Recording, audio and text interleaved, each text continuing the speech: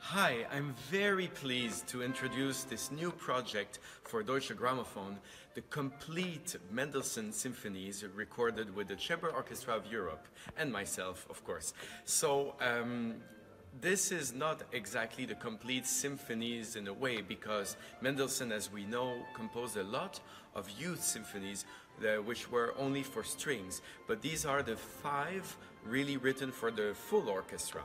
And this is repertoire I really love, and except from the third and the fourth symphonies, the Scottish and the Italian, we get don't get to hear the others so often in concert. And uh, I hope this set will help maybe um, rediscover these treasures of the symphonic repertoire.